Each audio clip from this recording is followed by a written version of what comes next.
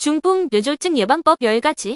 때때로 생활 방식의 변화는 뇌졸중 예방에 상당히 도움을 줄 수 있습니다.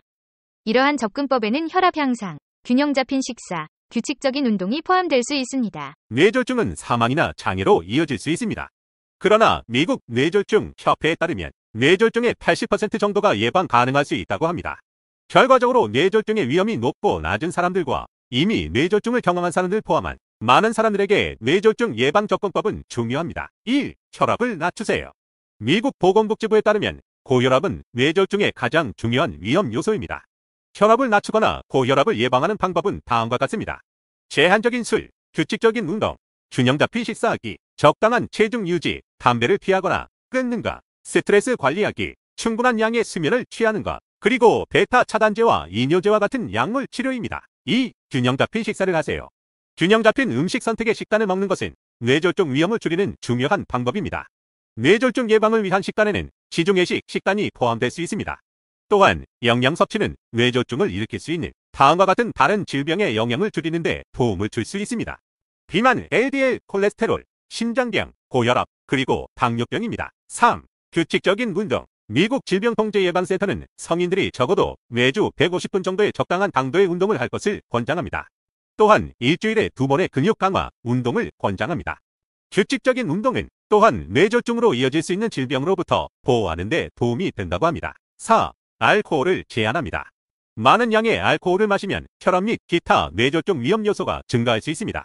질병통제예방센터는 성인 남성에게 매일 두 잔 이상 술을 마시지 말라고 성인 여성에게 매일 한 잔 이상 술을 마시지 말라고 권고했습니다. 5. 의사에게 약에 대해 물어봅니다.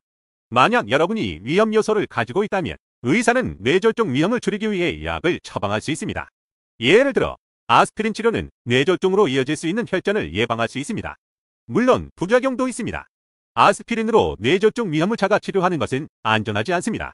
대신 뇌졸중 위험이 있는 사람들을 위해 아스피린이나 다른 혈액 희석제가 처방될 수 있습니다. 이후 코 고는 것을 조심하세요.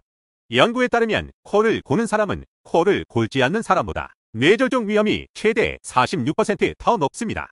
코를 고는 것은 수면 무호흡증으로 인해 수면 중 호흡이 멈추고 시작하는 것을 반복적으로 유발할 수 있습니다. 실, 기본적인 건강 관리.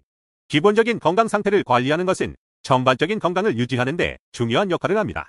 처방된 대로 치료 계획을 따르는 것은 필수적입니다. 8. 의사와 대화하세요. 변화를 발견하거나 지속적인 질병 증상이 나타나면 의사에게 연락하세요. 일부 증상은 뇌졸중 위험을 증가시킬 수 있는 근본적인 심혈관 질환을 나타낼 수 있습니다. 어지럼증이나 피로감 등의 증상이 나타나면 의사에게 연락하세요. 조기 진단과 치료를 받으면 합병증 위험을 피할 수 있습니다. 후, 수면을 피합니다. 흡연은 뇌졸중을 포함한 심혈관 질환 사망자 4명 중 1명꼴로 발생할 수 있습니다. 흡연을 피하거나 금연하는 것은 뇌졸중을 예방하는 중요한 방법입니다. 10. 당신이 통제할 수 없는 요소를 인식합니다.